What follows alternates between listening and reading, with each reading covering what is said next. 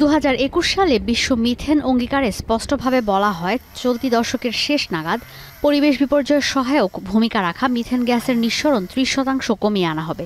জলবায়ু পরিবর্তনের অন্যতম কারিগর কার্বন ডাইঅক্সাইড গ্যাসের নিঃসরণ কমাতে যে উদ্যোগের কোনো বিকল্প নেই। এতে স্বাক্ষর করেন বিশ্বের দেড় শতাধিক দেশ।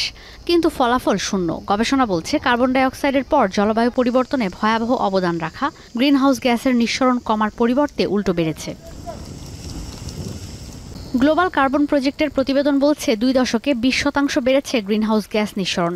পৃথিবীর ইতিহাসে বিগত পাঁচ বছরে সবচেয়ে দ্রুত গতিতে বেড়েছে মিথেন গ্যাসের নিঃসরণ। এর মধ্যে অন্যতম সহায়ক ভূমিকা রেখেছে কয়লা খনি, জ্বালানি তেল ও গ্যাস উত্তোলন, গরুর খামার ও খাদ্যের আবর্জনা। দু হাজার বিশ সালে চার কোটি টন গ্রিনহাউস গ্যাস নিঃসরণ হয়েছে, যা দু হাজার দশ সালের তুলনায় দ্বিগুণ। গ্রিনহাউস গ্যাস নিঃসরণ সবচেয়ে বেড়েছে চীন আর দক্ষিণ পূর্ব এশিয়ায়। গবেষণা বলছে, শিল্প বিপ্লবের পর বৈশ্বিক উষ্ণতা নিয়ন্ত্রণে রাখার সব পথ ব্যর্থ হচ্ছে, মিথেন নিঃসরণ নিয়ন্ত্রণে না আনতে পারায়।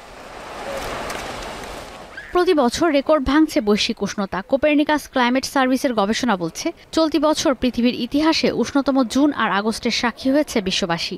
আগস্টে পৃথিবীর গড় তাপমাত্রা ছিল প্রায় সতেরো ডিগ্রি সেলসিয়াস, যেখানে উনিশশো একানব্বই থেকে দু হাজার বিশ সালের তুলনায় প্রায় এক শতাংশ বেশি ছিল চলতি বছরের আগস্টের তাপমাত্রা।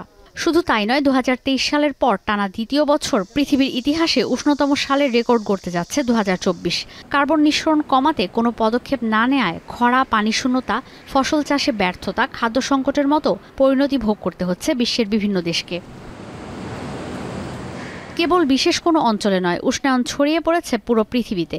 ইউরোপে উনিশশো একানব্বই থেকে দু হাজার বিশ সালের তুলনায় দু হাজার চব্বিশ সালে উষ্ণতা বেড়েছে এক দশমিক পাঁচ সাত শতাংশ। গড় তাপমাত্রা ভয়াবহ বেড়েছে অ্যান্টার্কটিকা, টেক্সাস, মেক্সিকো, কানাডা, উত্তর পূর্ব আফ্রিকা, ইরাক, চীন, জাপান ও অস্ট্রেলিয়ায়। তুলনামূলক কম উষ্ণ হয়েছে রাশিয়ার পূর্বাঞ্চল, আলাস্কা, যুক্তরাষ্ট্রের পূর্বাঞ্চল ও দক্ষিণ আমেরিকা। শুধু বায়ুমণ্ডল কিংবা ভূপৃষ্ঠ নয় তাপমাত্রা রেকর্ড ছাড়িয়েছে সমুদ্রপৃষ্ঠেও আগস্টে সমুদ্রপৃষ্ঠের উষ্ণতা প্রায় একুশ ডিগ্রি সেলসিয়াস পৌঁছে দ্বিতীয়বার রেকর্ড ভেঙেছে। সমুদ্রের পানির উষ্ণতা বাড়ায় আরও ঘনীভূত হচ্ছে পরিবেশ বিপর্যয়ের আশঙ্কাও। বাড়ছে ঘূর্ণিঝড়, টাইফুন, সাইক্লোনের মতো প্রাকৃতিক দুর্যোগ।